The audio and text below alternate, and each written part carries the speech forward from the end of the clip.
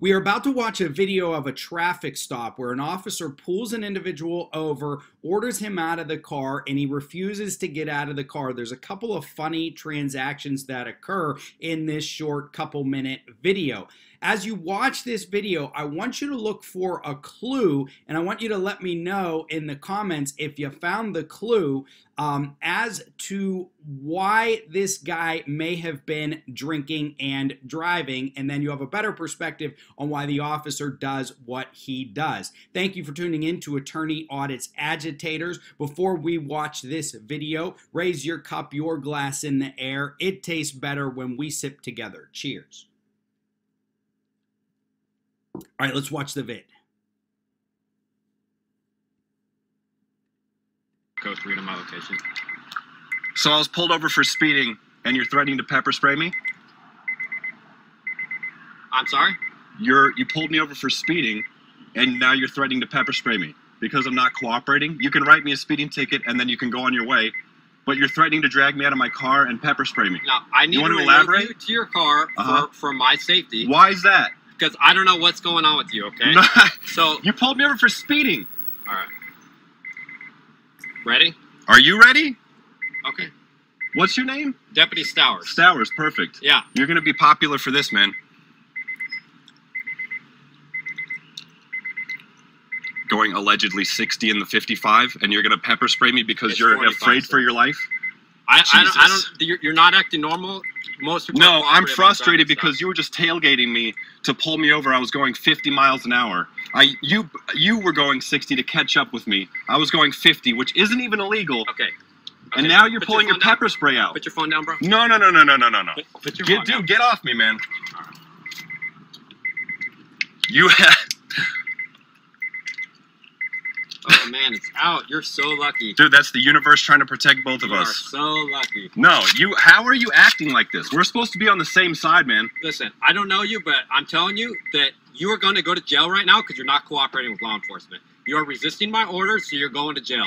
As soon as my units come, But come you're here, pulling me over you for out of the going car. over the speed limit by what, five miles per hour? Okay. And you have a taser out. Okay, that's fine. You're going to jail now. You made, you turn this into a huge. No. deal. Okay. How is this how is this even grounds for a Keep your hands taser being out? wheel. Keep your hands on the steering wheel. Are you not going to keep your hands? Why on are you wheel? acting like this? Okay. That's fine, dude. Going 60 and a 50 and you have a taser out. Mm-hmm. You're not cooperating. You're not cooperating. Are you write me a speeding ticket and leave me alone? That's not how it works, sir. You're escalating the situation yourself. Anyone out of a vehicle on a traffic stop by law. You do you have law. suspicion to pull me out of my car? Is there any reason to take me out of my vehicle? Because you are acting uncooperative, and I don't know why. If you're on any Uncooperative. or what. So it's fine. Yeah, I haven't had a drink in like a year, man. Okay. It's fine. Jesus, dude. Why did you sign up to be a police officer if you're gonna harass people? Okay.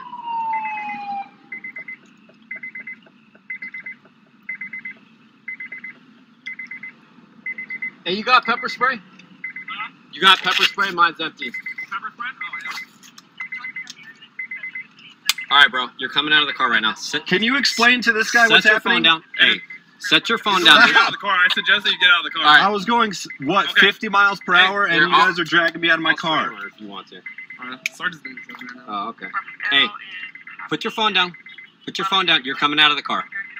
You're coming out of the car. I got units. in the Did he even right tell here. you why he's pulling me over? Listen, dude. Do you care? That's bad here is to get out of the car. Do you care Okay, about why I'm being pulled right over? now, my partner's ordering you to get out of the car. So dude. All right. you get out of the car. Dude, you're you're you're gonna go to jail for sure now. Okay, put the phone down. You're coming out of the car. Where's Sarge at? Why are you pulling me out of my car? Huh? Why 'Cause are I you can pulling me out anyone on a traffic stop that I want to. Okay. So do me a favor, put the phone down and come on out of the car. You're you- you're gonna turn this into going to jail, dude. I can legally take anyone out of their car.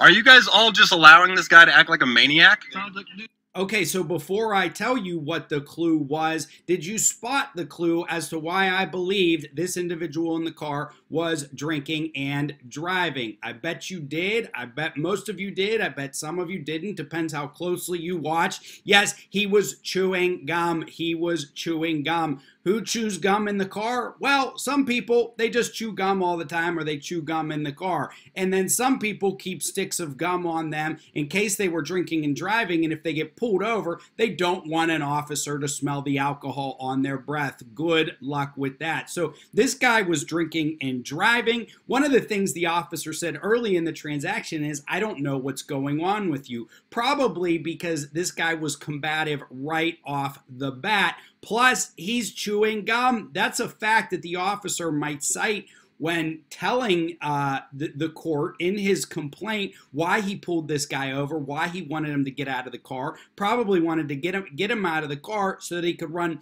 field sobriety tests and see if this guy was drunk or sober. At one point in the uh, incident, the guy says, I haven't had a drink in over a year. All of this is just confusing, scared signals that, yeah, this dude was probably drinking and driving. Of course, I don't know. I could be wrong. Now, he also complains that the officer was tailgating him. He was only going five miles per hour over.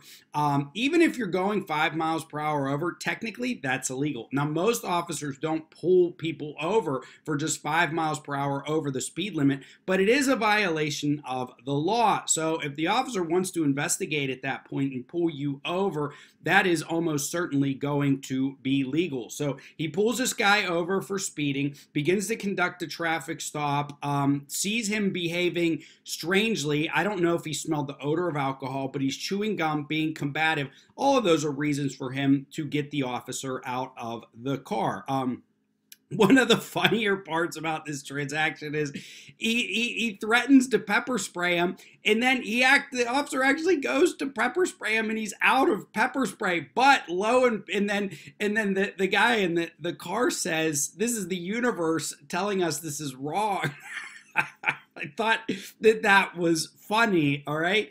Uh, but lo and behold, the, the sheriff's deputy's partner uh, pulls up and he's got a fully loaded pepper spray. And so it, it, and in the meantime, the officer pulled out the taser. So, pepper spray or taser? Another one to answer in the comments. Which one is worse? I don't know.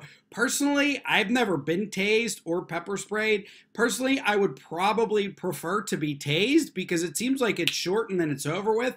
Whereas if you get pepper sprayed, you're going to feel that all day. I mean, you're going to feel that all day, maybe in the next day, a couple days after. Tase, at least it's over quickly. Um, woo, kind of funny, uh, kind of hilarious in that part. Now, let's talk about the law here. Can an officer just order someone out of a vehicle during a traffic stop? Yes, the officers need probable cause or reasonable suspicion to pull you over. But once they have pulled you over and they're going to ask questions or conduct an investigation, they generally can order someone out of the vehicle. Uh, interestingly enough, I did a little bit of research. This this the case law that establishes this right comes out of Pennsylvania, and I believe it's Commonwealth of Pennsylvania versus Mimms.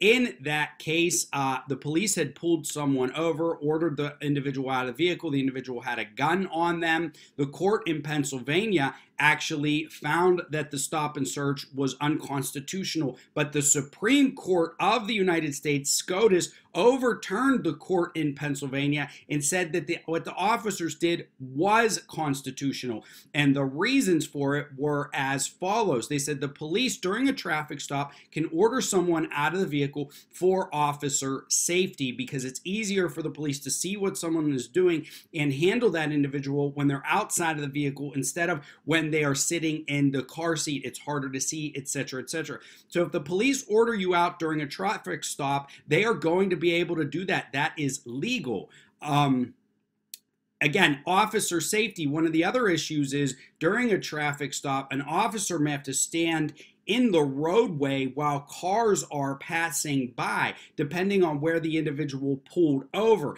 That is also a dangerous situation for the officer. Therefore, if the cars are on the side of the road, again, this is an additional reason the officer can order someone out of the vehicle and bring them around to an area that's safe for both people, and then he can ask questions and conduct his investigation. Interesting would to be would uh, that argument goes away though if somebody was pulled over, say, in a parking lot However, they still have the argument that the individual, for, for, general officer safety, that that person needs to get out of the vehicle. Now, when the police give that order and a person resists it, okay, that could escalate the situation for the individual. They may then be uh, refusing an officer order, resisting arrest, disorderly conduct. Um, there are different criminal charges they could get for then refusing the officer's order. So uh, don't be difficult in that situation. My advice as an attorney is if they order you out of the vehicle, get out of the vehicle, but you don't have to talk to them about anything. Now, if it's a stop and ID state, you may want to give them your name. My general advice is if an officer pulls you over, you don't want to go into the details of what they're asking. You can politely say, My name is so and so, show your ID and your driver's license, and then comply with any other order, but you don't have to talk to them beyond that. You don't have to answer questions for them beyond that. That's it just be quiet. Just say, officer, my name is, uh, my case, uh, officer, my name is Joe Pometto. Here's my driver's license. This is my date of birth. I respectfully decline to answer any other questions, but I will obey any of your lawful orders. So if the officer orders you out of the vehicle, go ahead, get out of the vehicle. Um, but you don't have to give consent to, to search the vehicle, etc. I say you don't do that. This guy, he's lucky he didn't get pepper sprayed. He's lucky he didn't get tased. We didn't get to see the end of it. If you want to look up the case law, it's Pennsylvania versus Mimms. It is constitutional. I hope this guy avoided the taser and the pepper spray. Thank you for watching Attorney Audits Agitators. My book on sovereign citizens is coming out soon, very soon, literally days away. I'm excited. I hope you all are excited. I will have a special video on it. We'll do special announcements. It's coming your way. Thank you. Have a nice day.